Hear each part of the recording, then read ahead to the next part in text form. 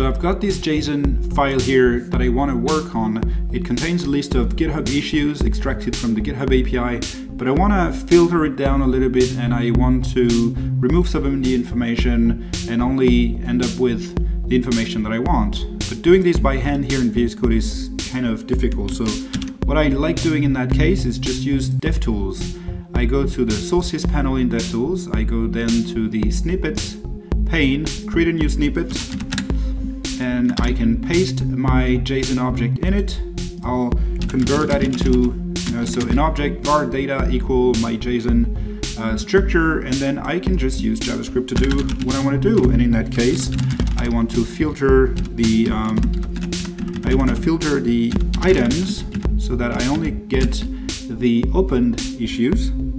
i.state different uh, than closed, and I also want to map each issue so that I only return, let's see, return an object with title, uh, uh, title, and then body,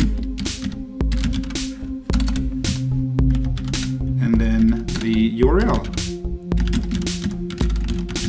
like this, and I can then assign this to a list of issues like this and output the issues here and I have in the console the list of issues with just the information that I wanted which is excellent. And now what I like doing to copy that is I can wrap this into a copy function which is supported in DevTools.